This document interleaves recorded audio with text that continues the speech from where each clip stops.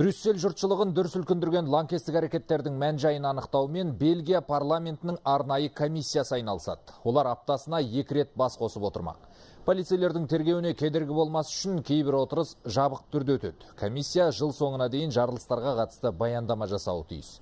Естеріңізде болса, 22 наурызда Бельгия астанасындағы Завентем халықаралық әуежайы мен Мальбек метро станциясында бірнеше жарылыс болған еді. Салдарынан 32 адам көз жұмып, тағы 300-ден астам жарақат алды.